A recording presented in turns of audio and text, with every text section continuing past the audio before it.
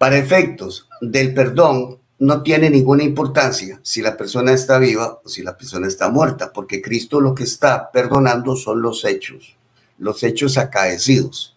Y no necesariamente tiene que ver con personas, con un perdón a personas que en ese preciso momento lo están haciendo. Acabamos de ver cómo Daniel destruye el texto sintácticamente, porque el texto dice, Padre, perdónalos a ellos. Está perdonando a personas, no eventos. Perdónalos a ellos. Y luego dice, porque ellos,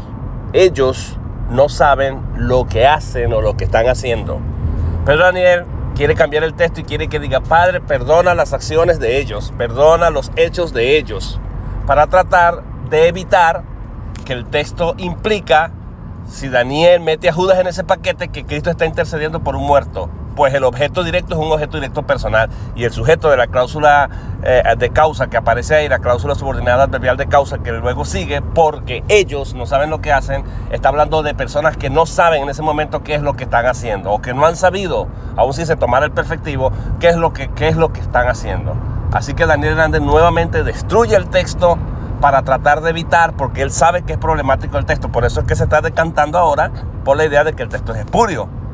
eh, sí, le toca, porque él sabe que el argumentazo que se traía se le destruyó, se le hizo pedazos, no lo puede sostener.